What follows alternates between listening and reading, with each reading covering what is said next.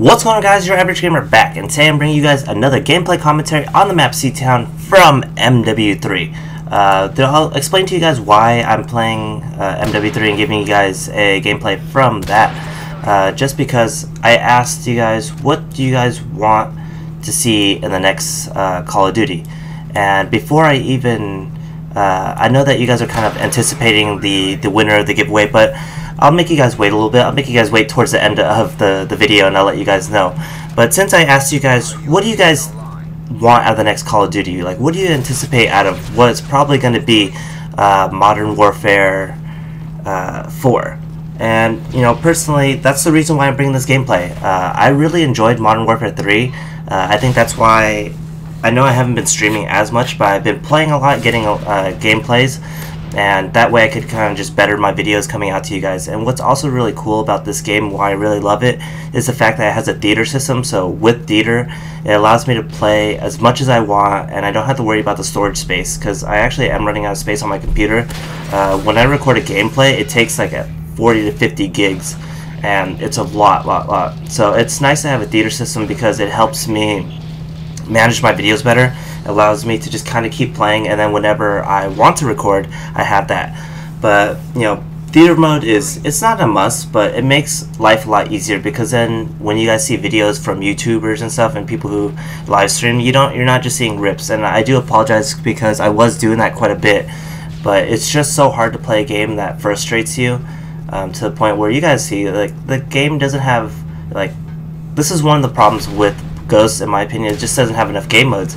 There's really, you know, there's no capture the flag. There's so people resort to blitz, and that's kind of like the Moab game type. It's not like domination or anything. Um, people still get, you know, Moabs and or KEMs in domination, all that stuff, but it's different. You know, it's just I just don't feel that that game. You know, there's not many game types to play. Here, I feel like I could play pretty much anything. I could play the team tactical, I could play the sabotage, I could play the headquarters, which I probably will start doing. Um, I'll probably start venturing out and playing all this other stuff. Um, as you know, or as you may not know, what I tried to start doing was I started to start going on prestige. So I'm hoping in the next Call of Duty that they release a set amount of prestiges and they make it challenging. This is this in this game. It's really challenging to to hit another prestige level because it goes to 80 and I'm on double XP and it's still taking forever. Um, I forgot how, how long it takes to, to grind this game out, but I kind of regret prestiging because then I am terrible without focus on a sniper. This is actually your, a game that I believe I was closing in on prestiging and I decided to use the L115. I've been using the MSR a lot and that brings me to my next topic, guns. So guns in the next game. I'm hoping that there'll be an ACR like always, because you guys know how much I always talk about the ACR being my favorite gun.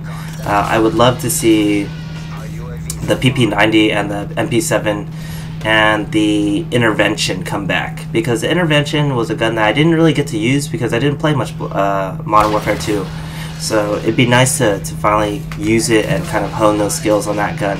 Uh, because that was kind of like, like the makeshift gun for a lot of snipers. A lot of people got good at sniping from from using that gun, and I kind of missed out on that. I started sniping in this game, and you know, it, this game was, I feel, by far a lot harder to snipe than Black Ops 2 and and Ghost because you get a lot more hit markers point blank in this game, and it's ridiculous. Uh, I don't.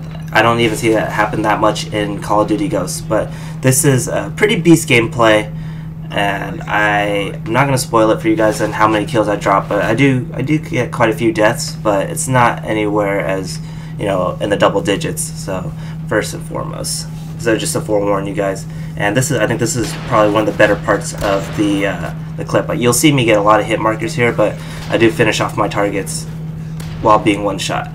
Um, what else do I want to discuss? Oh, today, uh, happy Easter to all of you guys. Um, you know, hopefully you guys are spending some time with your family, enjoying yourself. And today is actually my birthday, so I'll be spending time with uh, my family. We're gonna do some egg painting, paint some eggs, and then I'm gonna have dinner with my friends. So uh, the live stream may be back on later on tonight, just for a little bit, maybe playing some MW3, relaxing, hanging out with you guys. But uh, no, to further ado, I'm gonna announce the winner. So Kevin Santina, uh, uh, he I read through the comments and I read his comment and I you know he put a lot of thought into it. I really enjoyed it. Um, I think it's really on par to what I want in the next Call of Duty, so I decided to choose him as a winner. Uh, I didn't do it randomly this time, and I I got a really really positive feedback on the last video, and I want to thank you guys so much for tuning in.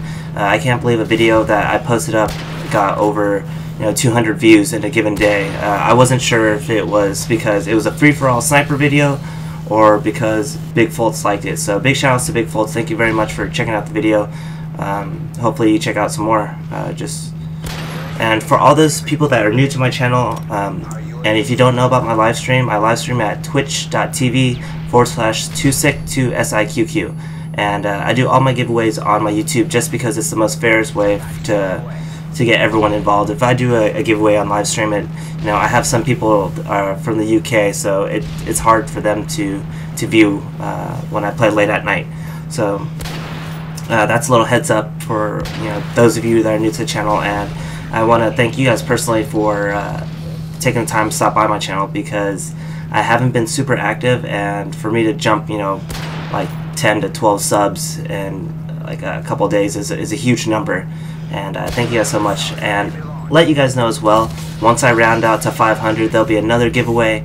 Um, and there should be another Twitch giveaway coming up pretty soon. Uh, the video is coming down to an end. If you like the video, make sure you hit the like button. Uh, leave a comment down below. Let me know what you think and what uh, if you want to see some more MW3 gameplay because that's probably what I'm going to be playing.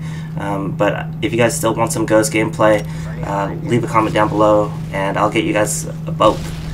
Um, other than that though, have a great rest of the day guys. I'll catch you guys later. Peace.